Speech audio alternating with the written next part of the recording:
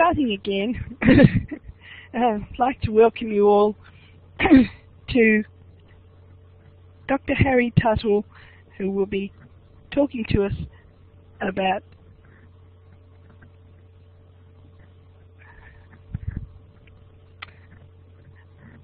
about um,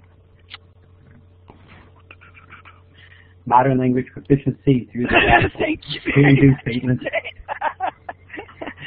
modern language proficiency through can-do statements. And I'd like to also thank our sponsors and supporters, particularly Steve Hargadon and Blackboard Collaborate and the wonderful team at the Australia E-Series who have organised this for us. Uh, and now, if you would like to pick up um, one of these little smiley faces or world maps and place it on the map to show us where you're coming from.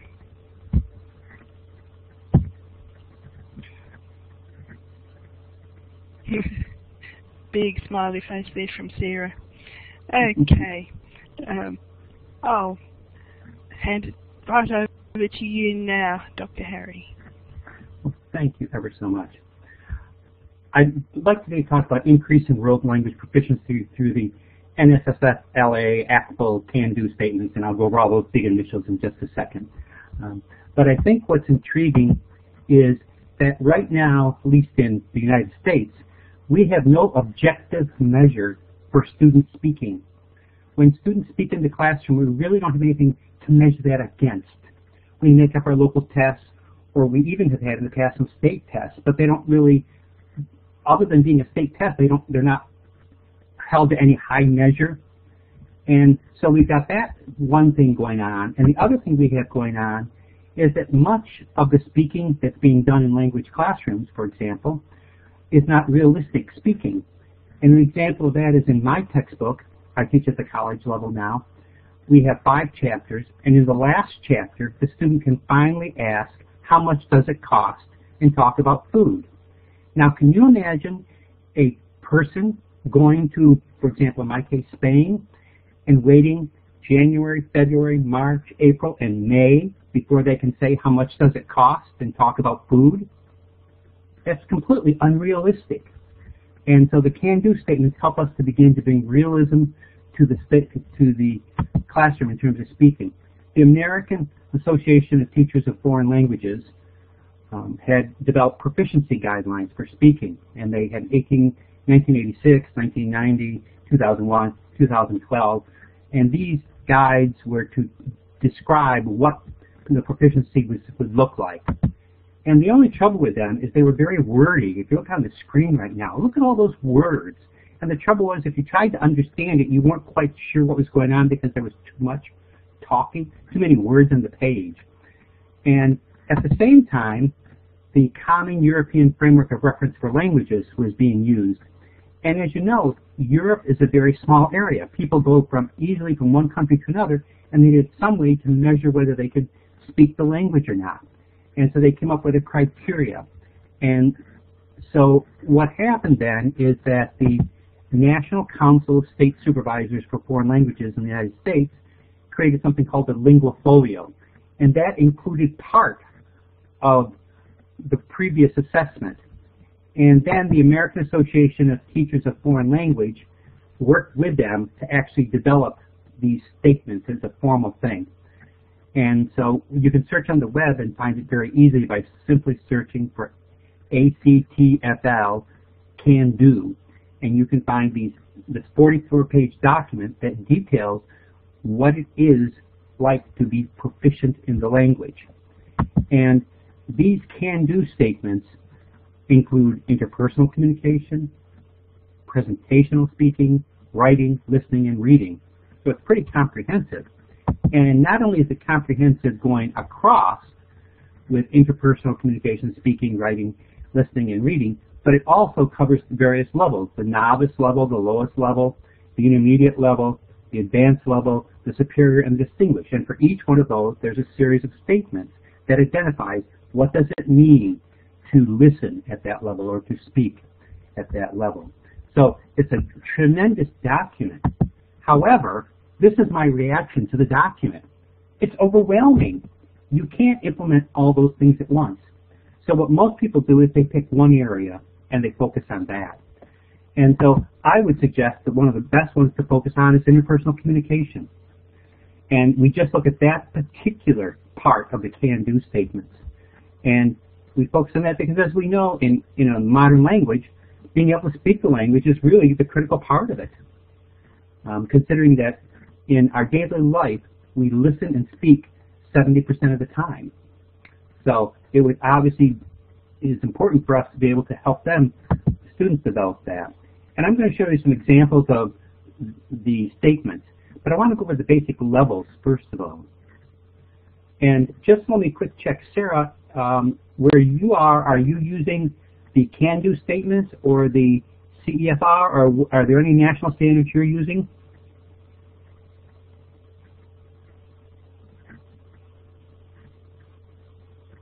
Thank you very much, Sarah. Okay, so the, this ACTFL standard um, basically divides learning into the novice, intermediate, and advanced levels. But the novice, students can only communicate with a single memorized word. Do you have a brother? Yes. Do you eat pizza? No. Or they can begin at the novice mid to communicate on familiar topics using a variety of memorized words. Do you like do you like something? I like very short things.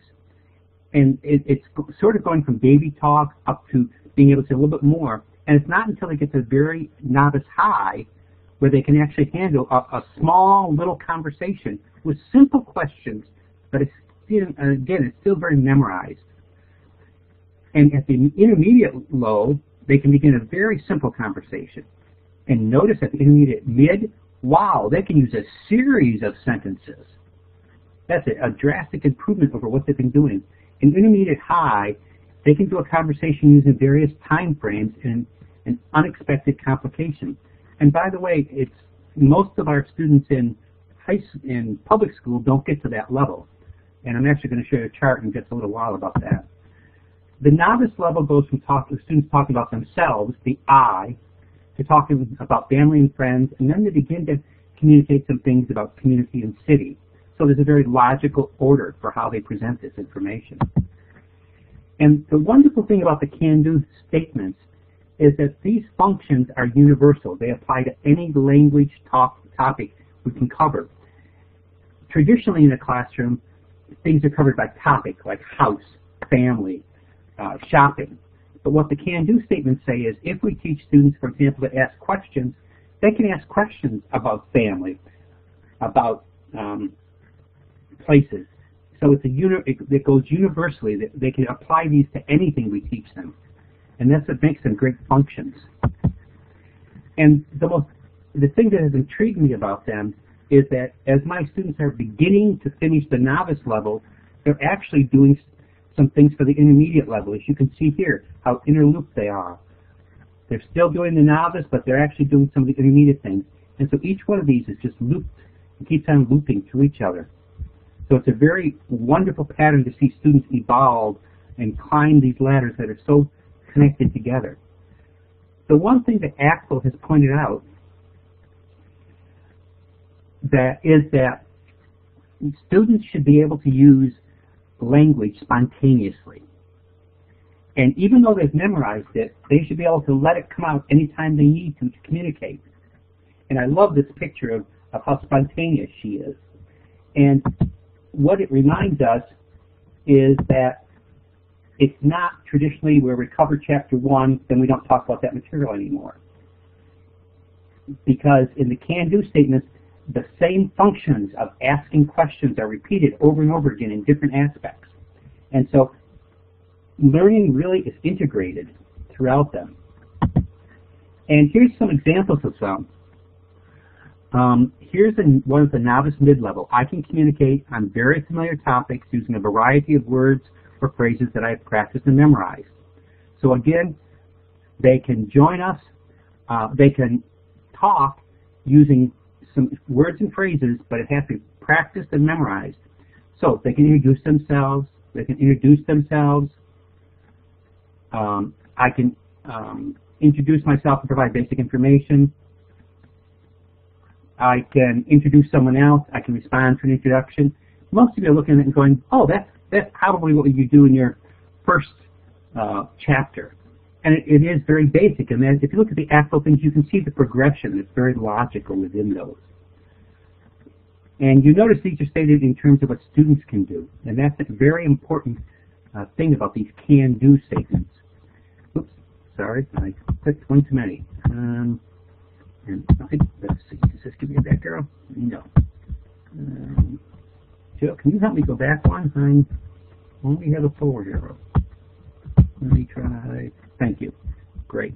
If you notice this in the United States, if a student has a language for 9, 10, 11, and 12, they begin to get to this intermediate level. So it really takes many years to arrive at that level in, in terms of it. It's not something we can say, well, our students are going to be proficient and they're going to be at the intermediate level right away. That's not true. It takes many years of working through these can-do statements for students to get there. And here's another statement of it, and this is again according to the United States, but intermediate low, high school students after four years or college students after two semesters. So it really means our students, um, 9 to 12 are grade levels in the United States. So, and in our schools obviously graduated after 12th grade. So the so if you notice this, it's saying this takes a long time for students to get through all of the novice material up to the intermediate level of speaking. And I don't know about the textbooks in Australia, but the textbooks in the United States are very vague. And the purpose of most courses are simply to cover the, the things. For example, my college textbook, I have to cover four, five chapters. That's the purpose of the course. There's really nothing else that's defined as to what the students have to learn. And that's a very vague purpose, as opposed to the these can-do statements that are practical, real-world skills it says, what do the students have to be able to say? And so it's a drastic change in how we look at the course. Um, and so again, here's the actual proficiency guidelines, so wordy, and here's the can-do statements for the not. For example, this is novice high. Notice, I can ask and say a home address and email address. I can ask and say someone's nationality. I can ask and talk about family members and their characteristics. I can ask and talk about friends, family. And when it says talk about it, it says maybe saying maybe two other statements about the person. My, my brother's name is John. He is tall. He plays basketball. That would probably be enough at that level to do it. So notice how the students can look at this and know whether they can do it or not. And we can look at these and know whether a student can do them or not because they're so precise. It really adds so much more accountability to the language classroom because of how precise these are. And I don't know if any of you have such precise scale definition in your schools or not. Um, but I, I don't think I've seen any, except for the, the European standards, that do this. So um, do either of you two have any of these type precise standards? Okay.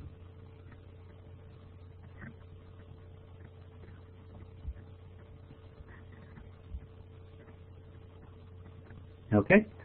Okay, that's okay. So it's interesting because this is the first time I'm aware of in education, and I've been teaching since 1968. So um, I've been around for a few years, and I have never seen standards this precise, which makes it so wonderful because, in fact, I can then, it's easy to tell if students have achieved it or not.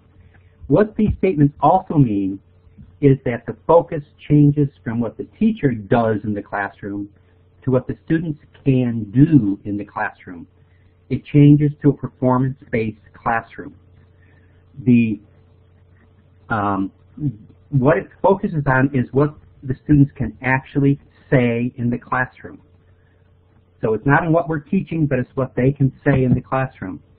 And the thing I like about the these standards is that they really are a beacon to all of us. And I'm going to give you an example from the United States first. That in New York State, we have level, the, the state has come up with levels A, B, and C. And if you can imagine a student from New York moving down to Texas, walking up to his language teacher and saying, well, I'm at level A. And that teacher's going to look at him and say, what does level A mean? It, so there is no consistency. But if students begin, if teachers and students begin to use the can-do statement, then a student could go to Texas and say, I am at the novice mid-level. And the teacher there would understand that and know exactly where they are.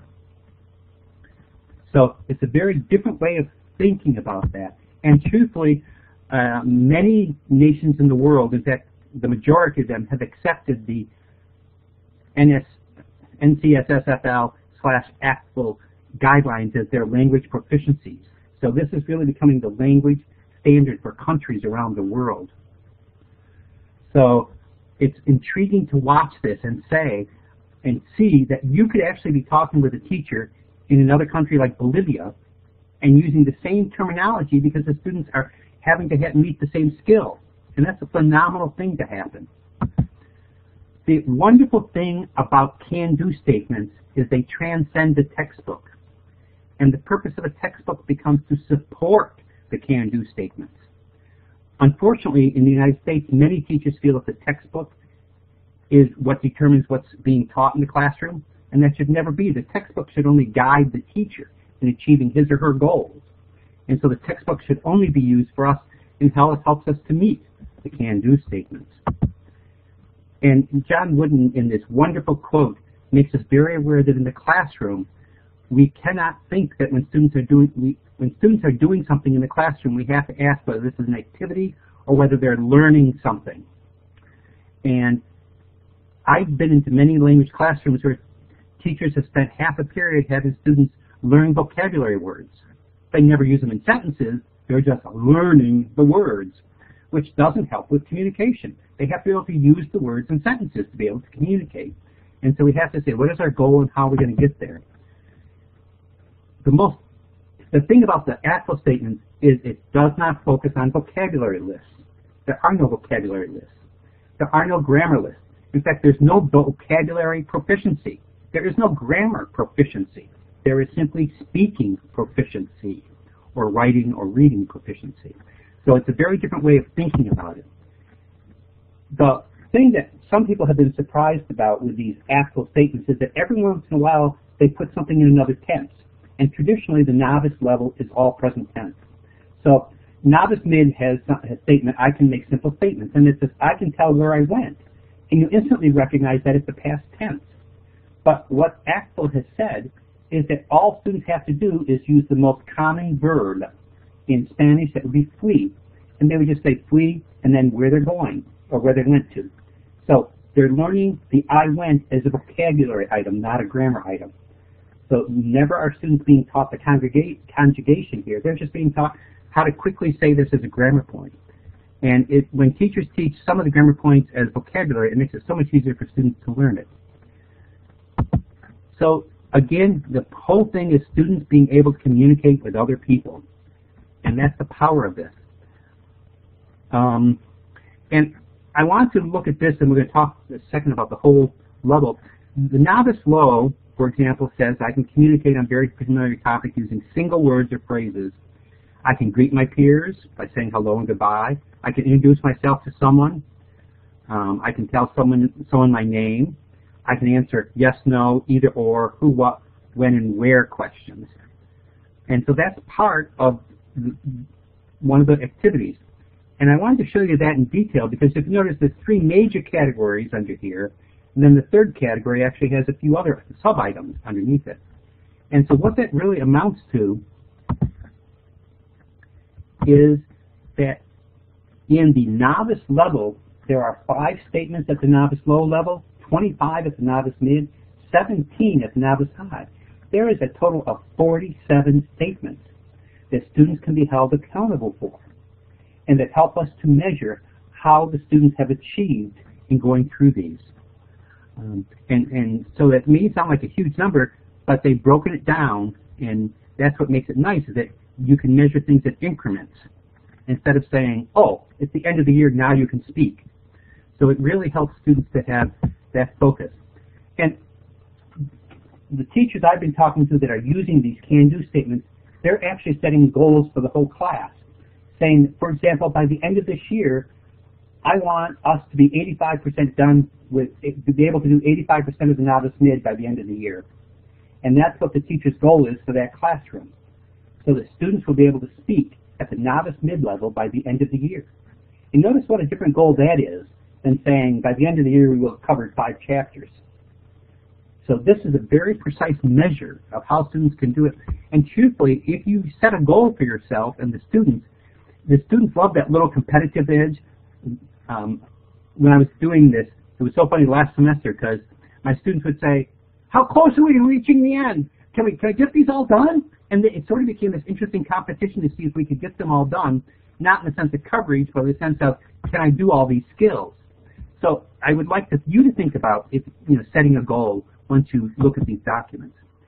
The other thing um, that this these can-do statements are really in their infancy, and they're beginning to be used by more and more schools. Um, I did a presentation this morning, and there were two school districts that are using them. It is their new syllabus in languages. So more and more schools are using these full time. So one of the ways that I use these is I remember I would have students come in, you know, during the first week of class from some other school or some other state, and you try to figure out whether they really belong in your class or not. And one of the ways I now do it at the college level is I actually give them these can-do statements, and I give them five to ten minutes to check them off. Which one of these can you do? And I tell my students that uh, at the college level in my beginning Spanish course that by the end of the semester I hope to have most of novice level done. And I actually had one student who marked everything off and he says, I don't belong in this course because I can already do it. And isn't that so great that students can assess where they are? And it helps us a great deal to really place students where they belong and to help them um, to do that with. And I want to show you this because this is an actual graph of my students. And this was done the very first day of class. And if you notice, the two items are that they can say their name, which is um, novice level W1 and uh, novice mid 2. So that's what most of my students coming in could do. They could say their name in Spanish. But notice, they really couldn't function on the can-do statements at all. And so I had that available so that we could do that. I also have now begun trying to rework all of my tests so that they actually measure the can-do statements. As we mentioned, one of the first things they're, supposed to do according to can-do statements is say their name.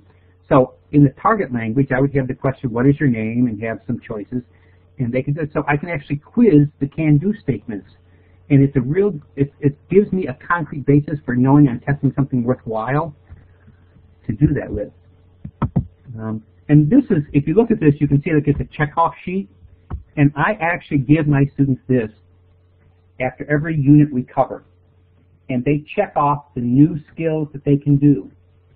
And I have to tell you, the excitement that they have when they see that they have increased in their speaking skill is amazing. I know of no other time in education, in a modern language class, where students have ever known how well they speak in class. And here, they can constantly tell, oh, I can do this now, I can do this now, I can do this now. And there's a beautiful sense of achievement, and it motivates them to want to learn more. Um, and this semester, I was so impressed. I was trying a slightly different method than usual, and my students, you know, afterwards they said to me, "But we can do almost all of those now." And, and they said, "Not fully, but we we can. We're coming close to be able to do them." And I thought, what a great statement for them to feel. They become so confident in their language.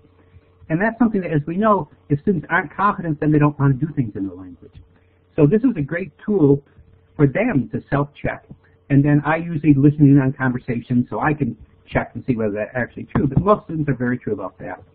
It also means now when I think about my the lessons I teach, I say to myself, what can-do proficiency am I am my students going to achieve as a result of this lesson? And if they don't achieve that, then I really haven't done anything worthwhile in that class. And so I really focus very much on what can-do proficiency will students achieve as a result of this lesson. It doesn't matter how wonderful the lesson is, if the students can't do one of the proficiencies, then I really haven't done a very good job at teaching.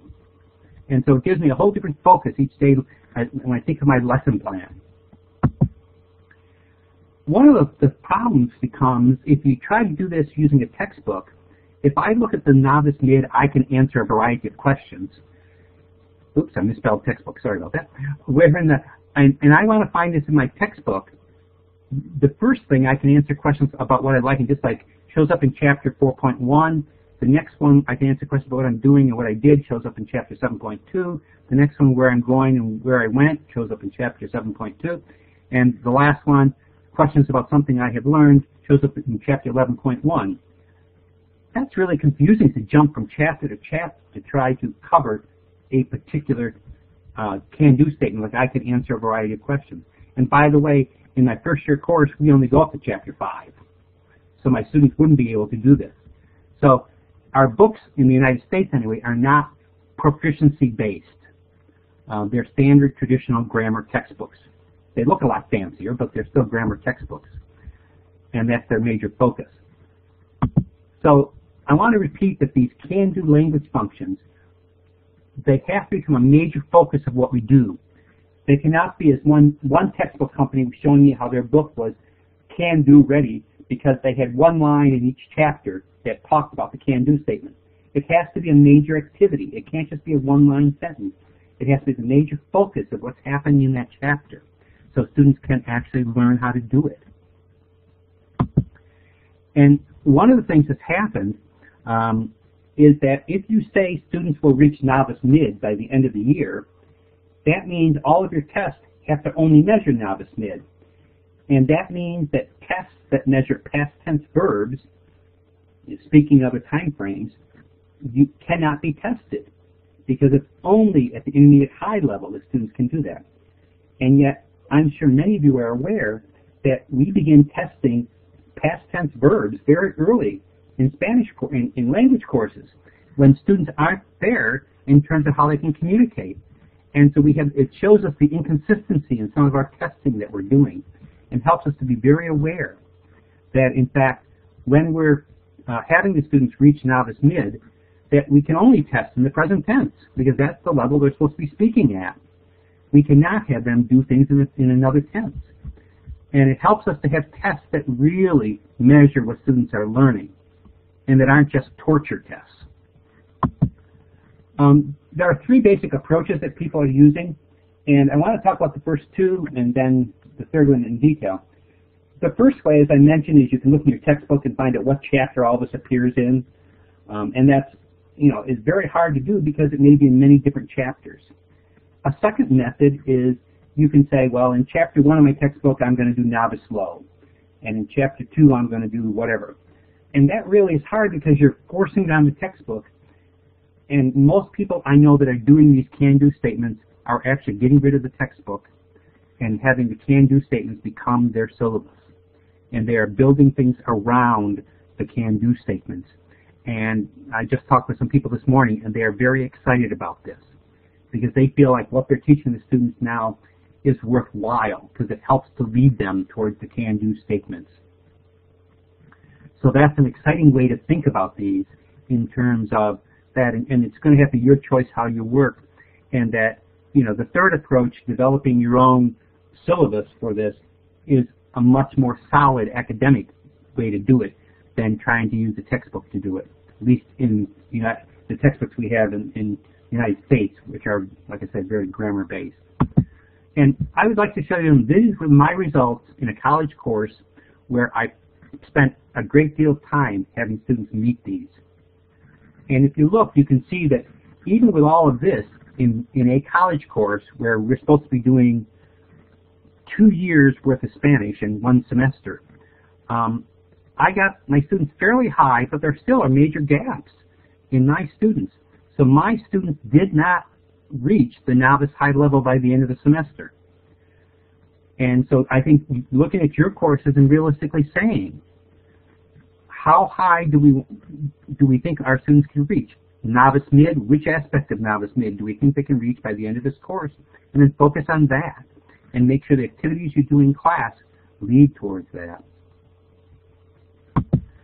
And I would like to suggest immersing your students in the language just so they get to hear the language. Because the more language they hear, the better they're going to get. There's obviously TPRS um, which is our storytelling via that method. Um, there's AIM, which is a, a method now being uh, popular from Canada, which is a accelerated integrated method, which is where students spend time learning a play and the vocabulary is repeated over and over again. Um, and there's a gesture method. The more time we spend in English in the modern language classroom, the more we deprive students of a modern language education. Because in fact, it's the only time they're going to hear the language. So we have to use every moment of that class to give students as much language as possible. And that's really a critical factor in our students being to be successful. And one of the things that ACTFL has said is that students should be hearing language that's above the level they're at. They should be hearing real life language in the classroom instead of, I taught sixth grade um, for a long time, and I developed what I call baby Spanish. And looking back, it was a horrible mistake because I deprived my students of the opportunity to hear real Spanish. And one of the things you want to, is you, you might want to think about as you're doing this is what percentage of each section do you feel you need for the students to be successful? As I mentioned, in some of the subsections, there's four or five items. Do you feel the students have to do every single item to be successful or 80% of it each section? Um, and in my case, my students did not do the past tense.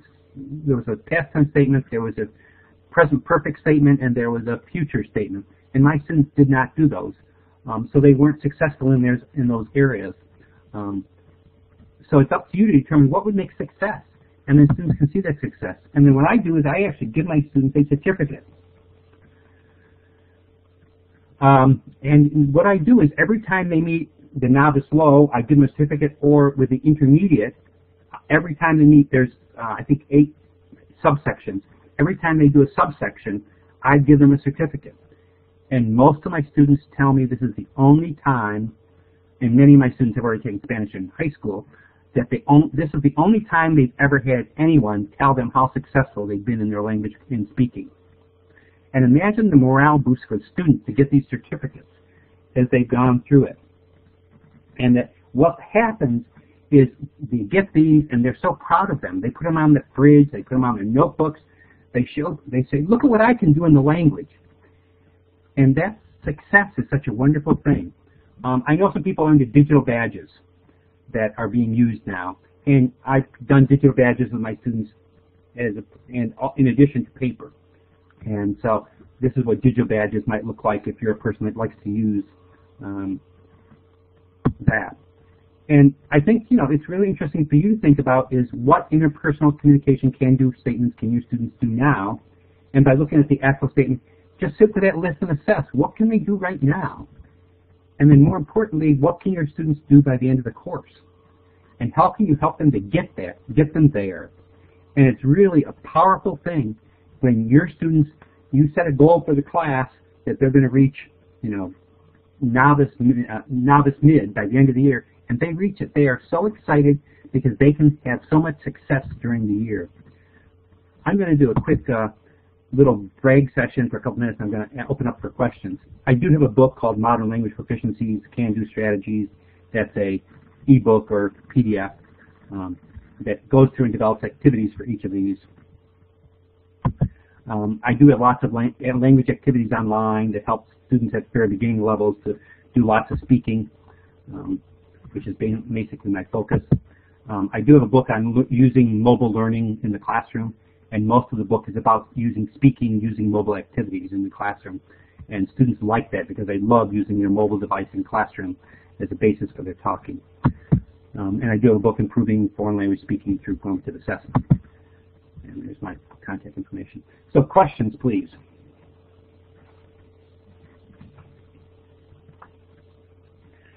Um, I'm teaching a college course, so my college course goes from uh, January through May. So it's a one semester college course, a, a three credit hour during course. And you know, like I said, I was talking to people this morning, they're doing this in, in high school. Okay, other questions, please.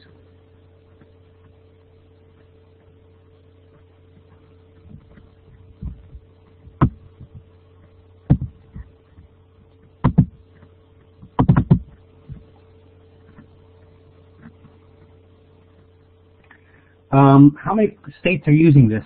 I would say that that's an awkward question. I know people in all states are using them. Has the state officially adopted them? Most states have um, had this as that we have the trouble in the United States that each state came up with their own criteria, and some states are still hanging on to them, but most states are beginning to accept this as the state national standard for languages.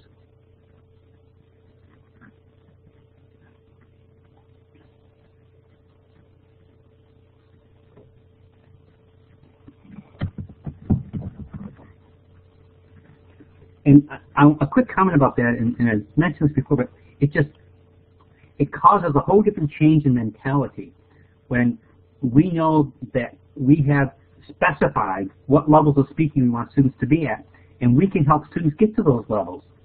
And it's a very different focus than I'm going to teach them to speak, whatever that means, in the language. And I think that's been the problem with language courses in the past, is we've never been able to specify what we mean by speaking proficiency.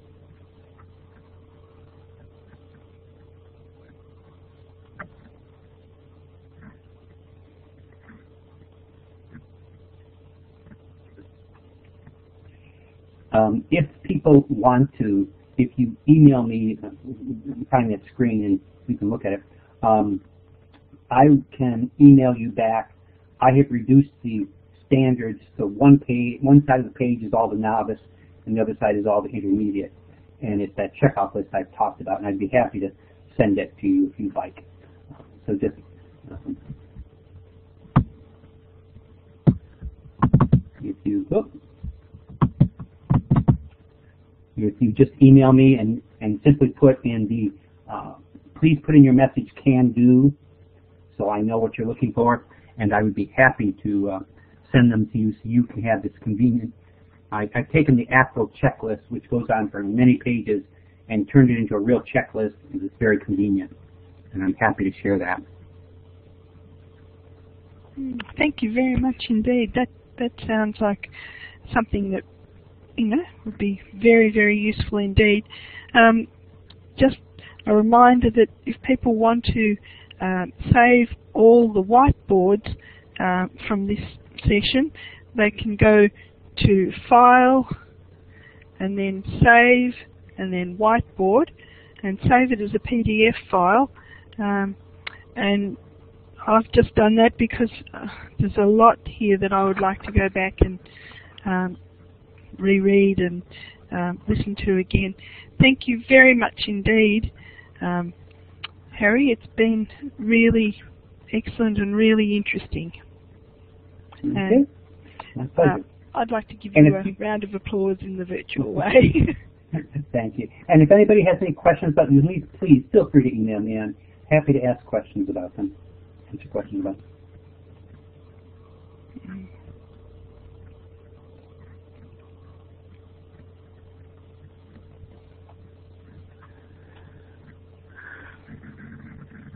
Mm, Sarah's about to head off to Taiwan oh, to wow. teach English to grade 5 students.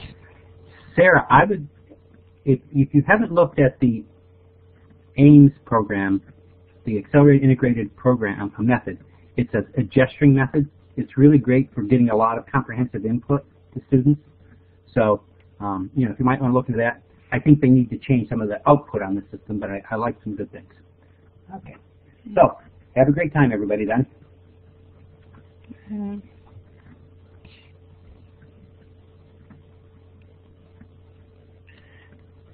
Okay, now the the next um, the links for the next one are is either um, this one or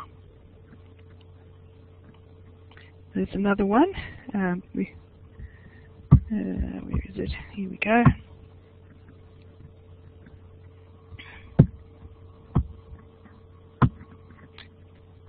Those are, those are the two sessions which will be coming next. Um, if you would like to go on to any of those. And there we go. Sarah is giving you a round of applause. Thank you very much indeed. Um, Harry, I'll close off the recording now. Okay. Thank you very much. Appreciate your help.